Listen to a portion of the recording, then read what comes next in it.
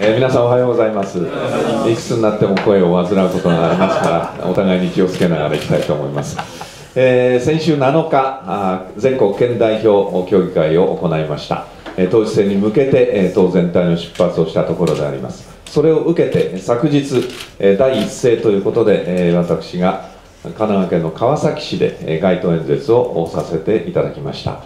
えー、この統一選は国政選挙とは違いますから、えー、統一的な政策を全国的に訴えるというものでは必ずしもありません。やはり地域地域の実情その候補者の特徴それらにを配慮した臨場感のある訴えが必要だと思います、えー、そうした意味では昨日の川崎市はいわば政令指定都市であり大都市の典型でありますので、まあ、そうした点にも配慮しながら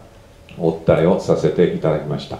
それぞれがその現場現場の状況にをよく把握しながらそれに応じた有権者にの心に届くそういう訴えを心がけてまいりたいと強く思います。ぜひ昨日第一声をスタートにしてえー、統一選挙それぞれで、えー、結束をして頑張りたいと思います。よろしくお願いいたします、えー、また今日は総理の施政方針演説が衆参で行われます、えーまあ、この時期になったということでありますから総理もそうした思いを込めて演説をされると思いますので、え、それに続く我々の代表質問、え、明日はえー、明日はなしと週明けになりますかね。はいはい、えー、いずれにしても衆議院では井上幹事長そして参議院では私自身が代表代表質問に立たせていただきます、えー、それを受けて予算委員会がその後続いてまいりますのでぜひともここはその代表質問に対する総理あるいはその他の大臣の答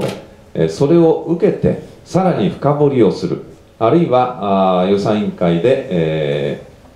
えー、その新しい課題を掘り起こす、えーまあ、そうしたことをまた代表質問の次の機会に、えー、閣僚に確認を取る、まあ、そうした連携した動きということは極めて重要だと思います。えー、そそこを意識しながらつないでつないで、えー、その党の連携プレーを生かしたいと思います。えー、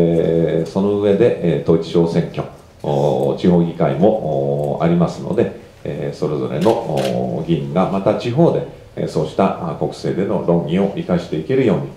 えー、問題意識をつなげていきたいとこう思いますので、えー、今日から新たな論戦のステージに入りますので、えー、頑張ってまいりたいと思います。以上であります。